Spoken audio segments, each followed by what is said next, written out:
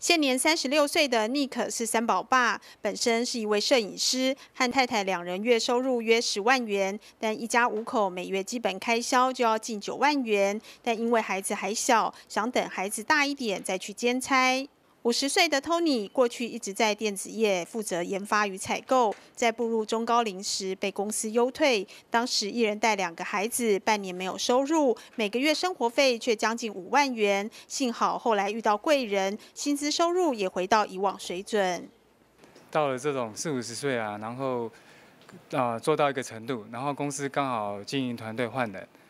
那这个时候面对的压力是非常大，因为孩子已经也长大了。那要面对的是国高中，然后甚至是大学的学费，所以再像现在这个社会的氛围也比较，大家就是经济状况也不是很好，经济的环境也不是很好，也不是非常友善，所以说在这期间呢，就感觉到压力非常大。那呃，因为从高阶工作，然后因为忽然没有工作了，然后就是你必须去找一些可能呃没有那么高阶的工作，那这个时候的薪资。还有职场的同事的对你的看待，那种压力是双重的。那再加上，呃，呃，结果就是做了这样子的工作，比较，呃，比较年轻人，更年轻人，这刚出社会的这种工作之后啊，那发现职场的老板跟同事，还有自己的这个一些想法不是很 match，不是很能很能吻合，所以结果还是又离职了。那中间因为还是因为。呃，每每个月的柴米油盐酱醋茶，你还是必须要去付，哦，所以说这个时候你必须要去想一些办法。那我之前也有去，呃，我现在有拿到大客车的这个驾驶执照，而且是职业的，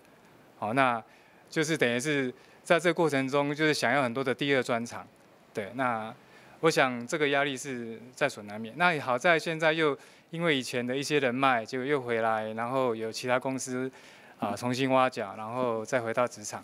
好，那呃很高兴有这种机会。那我相信可能也不是那么多这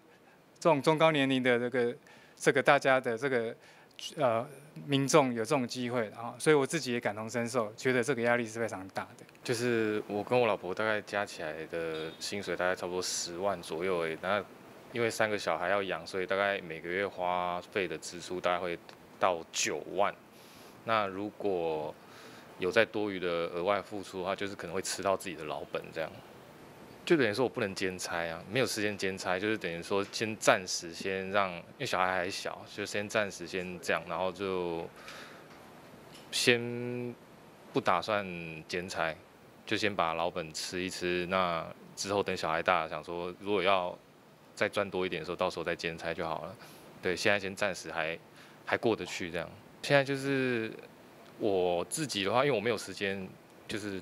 去打工，所以我就别人说我是投资的方式，我可能投资朋友的二手车行，然后可能额外会多一个月可能多个一万块的收入，就让我可以减轻一点压力这样。根据人力银行调查显示，有高达四成七的职场爸爸为了增加个人收入。必须从事第二份工作，兼差比例创历年最高。而兼差工作像是外送快递、计程车司机、出工水电工，还有物流送货等。这次调查主要针对职场爸爸的生活压力，那发现有四成七的职场爸爸为了要增加收入而选择要有第二份工作的兼差。那兼差最常见的主要最常见就是外送哦，那再来就是 Uber 计程车，接着有一些是粗工水电，还有一些会选择做物流送货，最后是文书处理，都是一些门槛比较低、那时间和地点弹性相对比较高的兼差工作。如果以现在这个一到三月份的实质性薪资来看，只有四万一千。多而已嘛，那两个加起来其实还不到这个水准，等于只有八万两千多，所以显见其实大部分的人都还没有达到这个育儿标准，所以可以看到出来，现在很多年轻人都选择不婚不生，哦，就是因为完全没有办法 cover 说啊支撑一个家庭，而且还要养育小孩。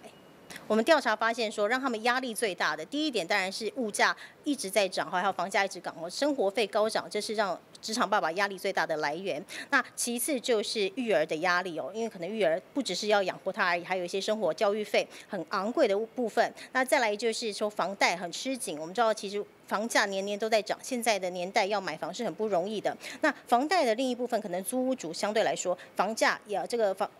租费啊，房租也会升高。那再来就是可能很多爸爸为了要有第二份工作而牺牲了陪伴小孩的时间，那甚至有一部分的职场爸爸是连头期款都拿不出来的哦，为了头期款而烦恼。